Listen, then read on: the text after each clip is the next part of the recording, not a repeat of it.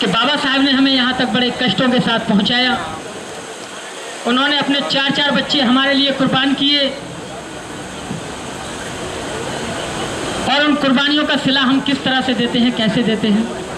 एक शेर के साथ गीत आपको देता हूँ, बड़ा अच्छा गीत है। और हमारे बहुत आचार्य अनिल जी की फरमाइश है वो। उनकी अमानत उनके सबूत करता हूँ। और आपको बताता हूँ कि बाबा साहब की नज़र में ज़िंदगी क्या होती थी और ज़िंदगी क्या है।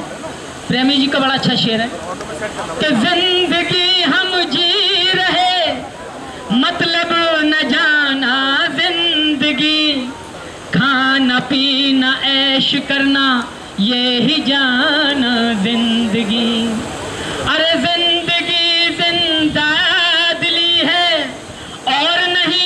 कुछ ज़िंदगी अरे जुल्मों से टकरा कर जिए। वही है प्रेमी ज़िंदगी। तो ज़िंदगी ऐसी होती है, और बाबा साहब ने कहा था कि कौए की भांति सौ साल की ज़िंदगी जीने से अच्छा है कि आप इज़्ज़त की और मान सम्मान की ज़िंदगी एक दिन की जिए तो बहुत अच्छा रहेगी।